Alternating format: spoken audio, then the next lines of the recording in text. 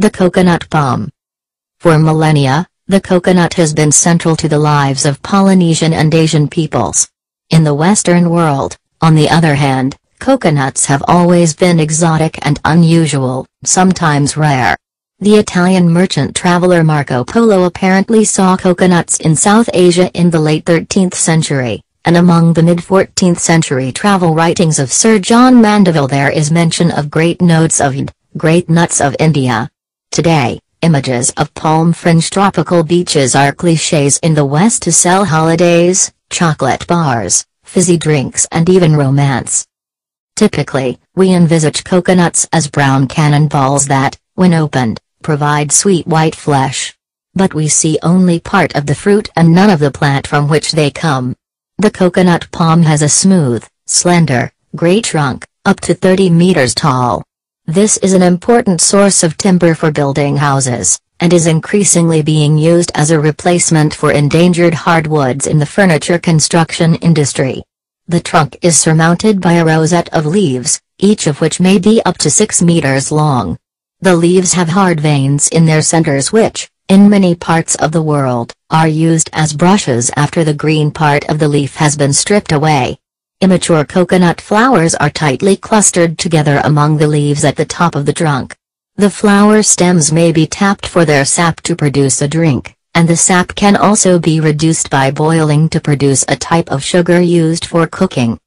Coconut palms produce as many as 70 fruits per year, weighing more than a kilogram each. The wall of the fruit has three layers, a waterproof outer layer, a fibrous middle layer and a hard, inner layer. The thick fibrous middle layer produces coconut fiber, coir, which has numerous uses and is particularly important in manufacturing ropes. The woody innermost layer, the shell, with its three prominent eyes, surrounds the seed. An important product obtained from the shell is charcoal, which is widely used in various industries as well as in the home as a cooking fuel. When broken in half, the shells are also used as bowls in many parts of Asia. Inside the shell are the nutrients, endosperm, needed by the developing seed. Initially, the endosperm is a sweetish liquid, coconut water, which is enjoyed as a drink, but also provides the hormones which encourage other plants to grow more rapidly and produce higher yields. As the fruit matures, the coconut water gradually solidifies to form the brilliant white, fat-rich, edible flesh or meat. Dried coconut flesh, copra, is made into coconut oil and coconut milk, which are widely used in cooking in different parts of the world, as well as in comestics a derivative of coconut fat, glycerin, acquired strategic importance in a quite different sphere, as Alfred Nobel introduced the world to his nitroglycerine-based invention, dynamite.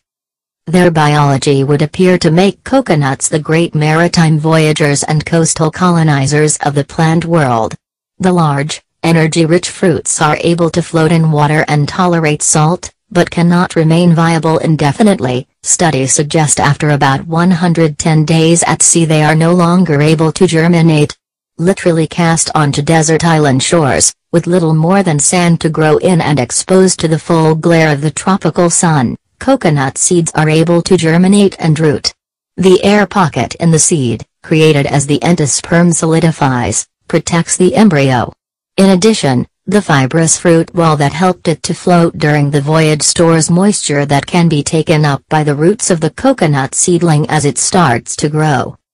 There have been centuries of academic debate over the origins of the coconut. There were no coconut palms in West Africa, the Caribbean or the east coast of the Americas before the voyages of the European explorers Vasco da Gama and Columbus in the late 15th and early 16th centuries. 16th century trade and human migration patterns reveal that Arab traders and European sailors are likely to have moved coconuts from South and Southeast Asia to Africa and then across the Atlantic to the east coast of America. But the origin of coconuts discovered along the west coast of America by 16th century sailors has been the subject of centuries of discussion. Two diametrically opposed origins have been proposed, that they came from Asia, or that they were native to America. Both suggestions have problems. In Asia, There is a large degree of coconut diversity and evidence of millennia of human use, but there are no relatives growing in the wild. In America, there are close coconut relatives, but no evidence that coconuts are indigenous. These problems have led to the intriguing suggestion that coconuts originated on coral islands in the Pacific and were dispersed from there. Cỏ dừa, uh, trong hàng nghìn năm cây dừa đã trở thành trung tâm đời sống của người Polynesian và người dân châu Á, trong khi đó đối với các quốc gia phương Tây, cây dừa lại là một loài cây khác thường, đôi khi còn được coi là hiếm, một thương gia người Ý tên là Marco Polo đã phát hiện cây dừa ở vùng Đông Á vào cuối thế kỷ thứ 13, và vào giữa thế kỷ thứ 14 trong bút ký du lịch của ông John Mandeville có đề. Cập đến dừa là loài hạt tuyệt hảo của Ấn Độ, ngày nay, biểu tượng của những bãi biển với dạng dừa nhiệt đới đã trở thành hình mẫu cho các nước phương Tây để bán trong các kỳ nghỉ, thanh sô-cô-la, đồ. Uống có ga hay thậm chí là cả sự lãng mạn, thông thường, chúng ta hình dung dừa là một quả cầu màu nâu mà khi bổ ra sẽ thấy phần cùi trắng ngọt ở trong, nhưng chúng ta chỉ nhìn thấy được một phần của. Loại quả này mà không thấy được các bộ phận khác của nó, cây dừa có thân mịn, thẳng, màu xám và thường cao 30 mét, đó là nguồn gỗ quan trọng để xây dựng nhà cửa, và ngày càng được sử dụng nhiều như là một sự thay thế cho các loại gỗ cứng đang cạn kiệt trong ngành công nghiệp làm đồ nội thất thân cây được bao bọc bởi quần thể lá xếp theo hình cánh hoa hồng, mỗi tàu lá dài khoảng 6 mét, lá cây có. Các vân cứng ở giữa mà ở nhiều nơi trên thế giới, chúng được sử dụng như bàn chải sau khi phần lá cây màu xanh được tước bỏ, hoa dừa non được kết lại thành chùm giữa các tán lá ở ngọn cây, cuống hoa. Dừa có thể được trích xuất nhựa để sản xuất đồ uống, và nhựa cũng có thể được cô lại để sản xuất ra một loại đường dùng trong nấu ăn. Cây dừa sản sinh ra khoảng 70 quả mỗi năm, mỗi quả nặng hơn 1 kg. Vỏ của trái dừa gồm 3 lớp, lớp vỏ bên ngoài chống nước, lớp sơ ở giữa và lớp trong cứng. Lớp sơ ở giữa cung cấp sơ dừa, hay còn gọi là sơ, có rất nhiều công dụng và là một nguyên liệu quan trọng. Trong sản xuất dây thừng, lớp gỗ hay còn gọi là vỏ với ba lỗ đầm màu giống như mắt bao quanh cùi dừa, một sản phẩm quan trọng được chế biến từ vỏ dừa là dầu thứ được sử dụng rộng rãi trong rất nhiều. Ngành công nghiệp cũng như dùng tại nhà như dầu ăn, khi bổ đôi trái dừa, vỏ dừa cũng có thể được sử dụng làm bát tại rất nhiều quốc gia ở châu Á, bên trong lớp vỏ là rất nhiều dưỡng chất nội nhũ cần thiết cho sự phát triển của trái dừa. Ban đầu, nội nhũ là một chất lỏng có vị ngọt, hay gọi là nước dừa thứ được dùng như đồ uống nhưng nó cũng đồng thời cung cấp hormone kích thích cây phát triển nhanh hơn và tạo năng suất cao hơn, khi trái dừa già hơn, nước dừa cạn dần để hình thành một lớp thịt trắng nhiều dưỡng chất thịt dừa khô được dùng để chế biến dầu dừa và sữa dừa, những sản phẩm này được sử dụng rộng rãi trong nấu ăn cũng như mỹ phẩm ở khắp nơi trên thế giới. Một dẫn xuất từ chất béo của dừa glycerin có tầm quan trọng chiến lược trong nhiều lĩnh vực khác nhau, như Alfred Nobel đã giới thiệu với thế giới phát minh dựa vào nitroglycerin của mình, chất nổ, cấu trúc sinh học của nó có xuất hiện để làm cho cây dừa trở thành một người đi biển vĩ đại và là một công dân vùng duyên. Hải trong thế giới thực vật, loài quả to và nhiều dưỡng chất này có thể nổi trên nước và chịu được muối, nhưng không thể tồn tại vô thời hạn. Nghiên cứu chỉ ra rằng sau 110 ngày trên biển chúng sẽ không thể nảy mầm được nữa, chính xác là khi gieo ở bờ biển trên một sa mạc cát với một ít cát để lớn và tiếp xúc với ánh nắng mặt trời ở vùng nhiệt đới, hạt giống của cây dừa có thể đâm chồi và nảy. Mầm các túi khí bên trong hạt giống tạo ra một lớp nội nhũ cố định bảo vệ phôi, thêm vào đó, lớp sơ dừa giúp quả dừa có thể trôi nổi trong suốt cuộc hành trình giữ được độ ẩm cái mà sẽ được truyền xuống dễ khi hạt bắt đầu nảy mầm, phải mất hàng thế kỷ để người ta tranh cãi về nguồn gốc của dừa, ở Tây Phi, vùng Caribe và vùng bờ biển phía đông của Mỹ, trước cuộc hành trình của nhà thám hiểm châu.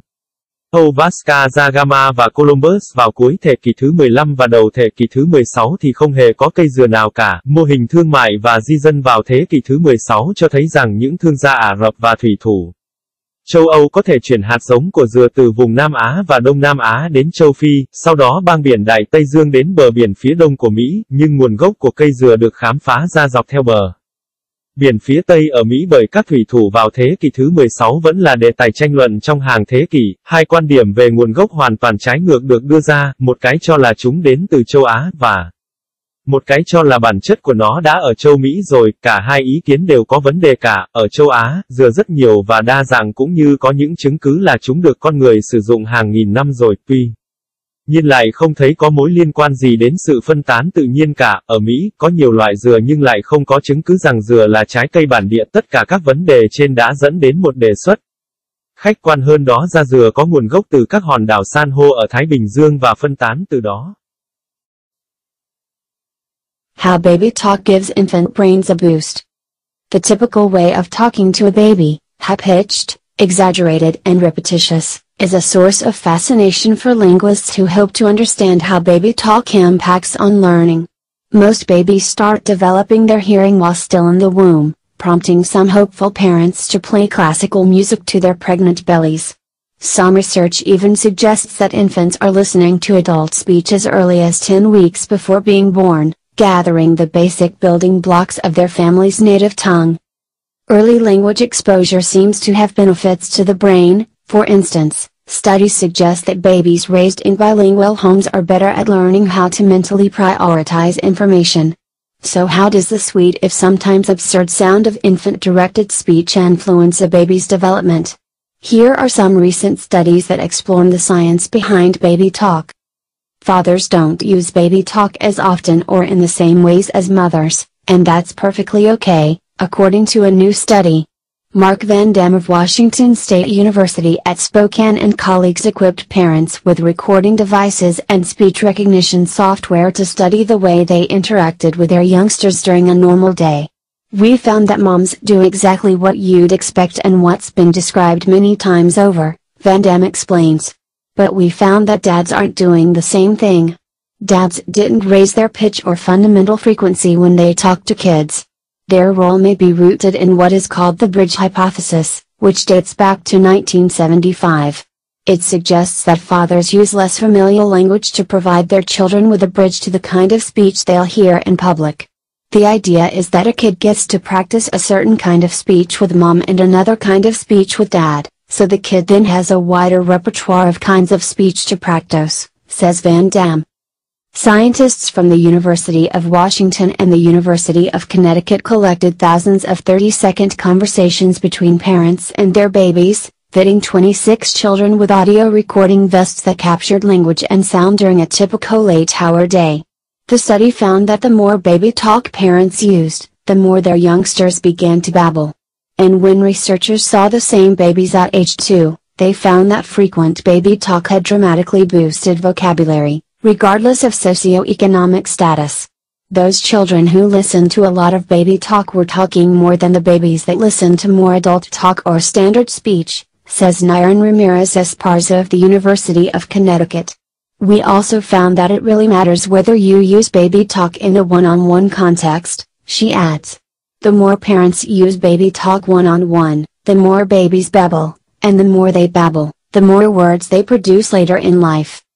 Another study suggests that parents might want to pair their youngsters up so they can babble more with their own kind. Researchers from McGill University and Université du Québec Montreal found that babies seem to like listening to each other rather than to adults which may be why baby talk is such a universal tool among parents. They played repeating vowel sounds made by a special synthesizing device that mimicked sounds made by either an adult woman or another baby. This way, only the impact of the auditory cues was observed. The team then measured how long each type of sound held the infant's attention. They found that the infant sounds held baby's attention nearly 40% longer. The baby noises also induced more reactions in the listening infants, like smiling or lip moving, which approximates sound making. The team theorizes that this attraction to other infant sounds could help launch the learning process that leads to speech. It may be some property of the sound that is just drawing their attention, says study co-author Linda Polka. Or maybe they are really interested in that particular type of sound because they are starting to focus on their own ability to make sounds. We're speculating here but it might catch their attention because they recognize it as a sound they could possibly make. In a study published in Proceedings of the National Academy of Sciences, a total of 57 babies from two slightly different age groups, 7 months and 11 and a half months, were played a number of syllables from both their native language, English, and a non-native tongue, Spanish. The infants were placed in a brain activation scanner that recorded activity in a brain region known to guide the motor movements that produce speech. The results suggest that listening to baby talk prompts infant brains to start practicing their language skills. Finding activation in motor areas of the brain when infants are simply listening is significant, because it means the baby brain is engaged in trying to talk back right from the start, and suggests that seven month olds' brains are already trying to figure out how to make the right movements that will produce words, says co-author Patricia Kuhl. Another interesting finding was that while the seven month olds responded to all speech sounds regardless of language, the brains of the older infants worked harder at the motor activations of non native sounds compared to native sounds. The study may have also uncovered a process by which babies recognize differences between their native language and other tongues. Cách trẻ nói chuyện thúc đẩy não trẻ. Cách điển hình để nói chuyện với trẻ nhỏ lên giọng, phóng đại và lặp đi lặp lại nhiều lần là nguồn cảm hứng đối với các nhà ngôn ngữ học những người đang hy vọng có thể hiểu việc trẻ nói chuyện. Ảnh hưởng đến việc học như thế nào, hầu hết trẻ em bắt đầu phát triển khả năng nghe của mình trong khi vẫn còn trong bụng mẹ, khiến cho một số phụ huynh bật nhạc cổ điển cho thai nhi, một số nghiên cứu thậm chí còn chỉ ra rằng trẻ sơ sinh nghe được người lớn nói chuyện 10 tuần trước khi sinh tập trung xây dựng tiếng mẹ đẻ cơ bản của gia đình chúng, sự tiếp xúc sớm với ngôn ngữ dường như có ảnh. Hưởng tích cực đến não bộ, ví dụ những nghiên cứu chỉ ra rằng trẻ được nuôi dưỡng trong gia đình song ngữ thì giỏi hơn trong việc học cách ưu tiên tiếp nhận thông tin về mặt tinh thần, vậy cho nên sẽ như thế nào nếu thỉnh thoảng âm thanh ngớ ngẩn của cuộc nói chuyện hướng đến trẻ làm ảnh hưởng sự phát triển của não bộ? Một số nghiên cứu gần đây khám phá những gì xảy ra đằng sau việc trò chuyện với trẻ. Theo như một nghiên cứu mới đây thì việc bố ít nói chuyện với con hơn mẹ thì vẫn không có vấn đề gì cả. Mark Van Dam ở trường đại học Washington ở Spokane và đồng nghiệp đã trang bị cho bố mẹ những thiết bị ghi âm và phần mềm nhận biết giọng nói để nghiên cứu cách mà họ tương tác với trẻ trong một ngày bình thường. Ông giải thích chúng tôi nhận thấy rằng mẹ làm y như những gì chúng tôi mong đợi và những gì được mô tả nhiều lần, nhưng chúng tôi cũng thấy rằng bố không làm những điều tương tự như vậy, bố không lên giọng hay thay đổi tốc độ khi nói chuyện với trẻ, chức năng của họ có. Thể xuất phát từ cái mà được gọi là thuyết bắc cầu, có từ năm 1975, điều này cho thấy là người bố sử dụng ít ngôn ngữ thân quen hơn để cho trẻ một cây cầu nối với loại ngôn ngữ mà chúng sẽ nghe ở. Ngoài xã hội, ý tưởng này đó là một đứa trẻ sẽ được luyện tập với vài loại ngôn ngữ với người mẹ và loại khác với người bố, và vì thế đứa trẻ sẽ có vốn ngôn ngữ rộng hơn để nói, ông Van Dam nói các. Nhà khoa học từ trường đại học Washington và Connecticut thu thập hàng nghìn các cuộc hội thoại dài 30 giây giữa bố mẹ và con của họ, mặc cho 26 trẻ bộ đồ có chứa máy ghi âm để ghi lại ngôn ngữ và âm. Thanh trong một ngày 8 tiếng điển hình, nghiên cứu nhận ra rằng bố mẹ nói chuyện với trẻ càng nhiều thì con của họ càng bập bẹ nhiều hơn, và khi các nhà nghiên cứu thấy rằng với những đứa trẻ cùng ở độ tuổi là 2 tuổi thì những đứa mà được nói chuyện nhiều hơn phát triển từ vựng một cách vượt trội, bất kể tình trạng kinh tế xã hội của gia đình như thế nào, Nairan Ramirez Espaza của trường đại. Học Connecticut nói, những đứa trẻ được nghe những cuộc nói chuyện của trẻ con sẽ nói nhiều hơn những đứa mà nghe người lớn nói chuyện hay những lời nói chuẩn mực. Chúng tôi cũng thấy rằng vấn đề Thực sự là liệu bạn có cho trẻ nói chuyện một mình không? Bố mẹ để cho trẻ tự nói chuyện một mình càng nhiều thì chúng càng bập bẹ được nhiều, và chúng càng có nhiều vốn từ trong cuộc đời sau này. Một nghiên cứu khác cho thấy rằng bố mẹ có thể muốn tham gia cùng với con cái họ để họ có thể nói chuyện được nhiều hơn theo cách của chúng. Những nhà nghiên cứu từ trường đại học McGill và Quebec ở Montreal nhận thấy rằng trẻ em thích nghe nhau nói hơn là nghe người lớn nói điều này có thể là lý do tại sao ngôn ngữ của trẻ là công cụ phổ biến ở phụ huynh, chúng lặp đi lặp lại các âm nguyên âm được tạo ra bởi một thiết bị tổng hợp mô phỏng các âm thanh được tạo bởi cả một người phụ nữ trưởng thành và một đứa trẻ khác. Bằng cách này, chỉ có ảnh hưởng của thính giác được quan sát thôi, nhóm. Này sau đó đo xem mỗi loại âm thanh có thể giữ trẻ chú ý được trong bao lâu, họ nhận thấy rằng âm thanh trẻ sơ sinh giữ tập trung của trẻ 40% nhiều hơn, âm thanh của trẻ cũng tạo ra nhiều phản ứng hơn khi trẻ nghe, ví dụ như cười hay môi chuyển động, mà gần như đều tạo ra âm thanh, nhóm kết luận rằng sự thu hút của những âm thanh sơ sinh có thể giúp tạo nên quá trình học dẫn đến lời nói, nhà. Đồng nghiên cứu Linda Parker nói, đó có thể là đặc tính của âm thanh mà đang thu hút sự tập trung của trẻ, hoặc có thể là chúng thực sự thích loại âm thanh cụ thể đó bởi chúng đang bắt đầu tập trung. Khả năng để tạo ra âm thanh, chúng tôi đang dự đoán rằng nó chỉ có thể khiến trẻ tập trung bởi chúng nhận ra rằng đó là âm thanh mà chúng có thể tạo ra trong một nghiên cứu của Viện Hàn Lâm Khoa học. Quốc gia Hoa Kỳ thì tổng số 57 trẻ em từ hai nhóm tuổi khác nhau 7 tháng và 11 tháng rưỡi được tiếp xúc với một số âm tiết từ cả tiếng mẹ đẻ tiếng Anh và không phải tiếng mẹ đẻ tiếng Tây Ban Nha. Bọn trẻ được đưa vào máy scan hoạt động não bộ ghi lại hoạt động trong não bộ được biết đến để hướng dẫn những chuyển động sản sinh ra lời nói. Kết quả cho thấy rằng nghe những lời nói của trẻ thúc đẩy não bộ của trẻ bắt đầu tạo nên kỹ năng ngôn ngữ, việc nghiên cứu cách hoạt động trong vùng não khi trẻ chỉ đơn giản là đang nghe rất quan trọng bởi điều này có nghĩa rằng não bộ của trẻ được thôi. Thúc cố gắng đáp lại ngay từ khi bắt đầu, và cũng cho thấy rằng não của trẻ 7 tháng tuổi đã sẵn sàng để cố gắng tìm ra cách chuyển động đúng đắn để tạo ra ngôn ngữ, đồng tác giả Patricia Q nói, một Kết quả thú vị nữa là trong khi trẻ 7 tháng tuổi đáp lại tất cả các âm không cần biết là thứ tiếng gì thì não bộ của những đứa trẻ lớn hơn là cố gắng hoạt động nhiều hơn ở mảng ngôn ngữ không phải mẹ. Đẻ so với ngôn ngữ mẹ đẻ, nghiên cứu cũng có thể làm sáng tỏ một quá trình mà bằng cách đó trẻ có thể nhận thức được sự khác biệt giữa ngôn ngữ mẹ đẻ và các ngôn ngữ khác của chúng.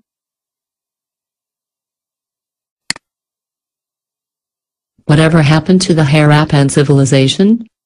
The Harappan civilization of ancient Pakistan and India flourished 5,000 years ago, but a thousand years later their cities were abandoned. The Harappan civilization was a sophisticated Bronze Age society who built mega-cities and traded internationally in luxury craft products, and yet seem to have left almost no depictions of themselves. But their lack of self-imagery, at a time when the Egyptians were carving and painting representations of themselves all over their temples, is only part of the mystery. There is plenty of archaeological evidence to tell us about the rise of the Harappan civilization, but relatively little about its fall, explains archaeologist Dr. Cameron Petrie of the University of Cambridge. As populations increased, cities were built that had great baths, craft workshops, palaces and halls laid out in distinct sectors. Houses were arranged in blocks, with wide main streets and narrow alleyways, and many had their own wells and drainage systems. It was very much a thriving civilization. Then around 2100 BC, a transformation began. Streets went uncleaned, buildings started to be abandoned, and ritual structures fell out of use. After their final demise, a millennium passed before really large-scale cities appeared once more in South Asia. Some have claimed that major glacier-fed rivers changed their course, dramatically affecting the water supply and agriculture or that the cities could not cope with an increasing population, they exhausted their resource base, the trading economy broke down or they succumbed to invasion and conflict, and yet others that climate change caused an environmental change that affected food and water provision. It is unlikely that there was a single cause for the decline of the civilization.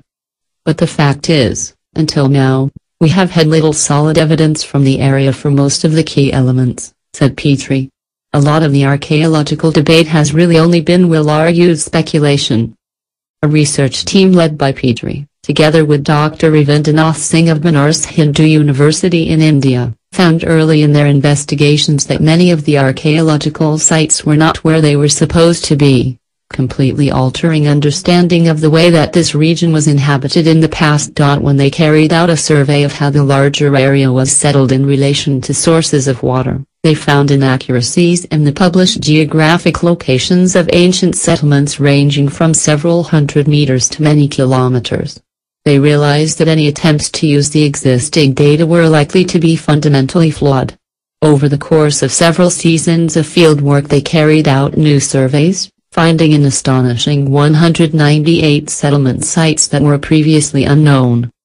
Now, research published by Dr. Yama Dixit and Professor David Hodell, both from Cambridge's Department of Earth Sciences, has provided the first definitive evidence for climate change affecting the plains of northwestern India, where hundreds of Harappan sites are known to have been situated.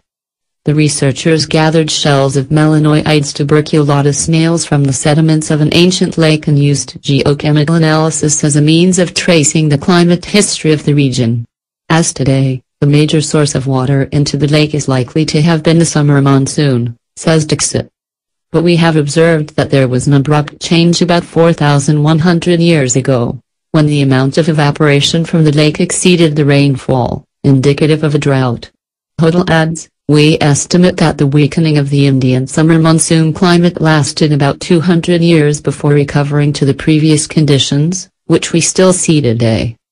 It has long been thought that other great Bronze Age civilizations also declined at a similar time with a global-scale climate event being seen as the cause. While it is possible that these local-scale processes were linked, the real archaeological interest lies in understanding the impact of these larger-scale events on different environments and different populations. Considering the vast area of the Harappan civilization with its variable weather systems, explains Singh, it is essential that we obtain more climate data from areas close to the two great cities at Mohenjo-Daro and Harappa and also from the Indian Punjab. Petrie and Singh's team is now examining archaeological records and trying to understand details of how people led their lives in the region five millennia ago. They were analyzing grains cultivated at the time, and trying to work out whether they were grown under extreme conditions of water stress, and whether they were adjusting the combinations of crops they were growing for different weather systems. They are also looking at whether the types of pottery used, and other aspects of their material culture, were distinctive to specific regions or were more similar across larger areas. This gives us insight into the types of interactive networks that the population was involved in, and whether those changed. Petrie believes that archaeologists are in the unique position to investigate how past societies responded to environmental and climatic change. By investigating responses to environmental pressures and threats, we can learn from the past to engage with the public and the relevant governmental and administrative bodies, to be more proactive in issues such as the management and administration of water supply, the balance of urban and rural development, and the importance of preserving cultural heritage in the future. Điều gì xảy ra với văn hóa SAAPPAN? Nền văn minh Harappan của Pakistan và Ấn Độ cổ phồn thịnh 5.000 năm trước nhưng chỉ sau đó 1.000 năm thành phố của họ đã bị bỏ hoang. Nền văn minh Harappan là một xã hội thời kỳ đồ đồng tinh xảo xây. Dựng nên các siêu đô thị và buôn bán quốc tế các sản phẩm thủ công cao cấp và dường như không còn lời nào để có thể miêu tả về nó nữa, nhưng việc thiếu hụt các hình ảnh tự họa nền văn minh của mình.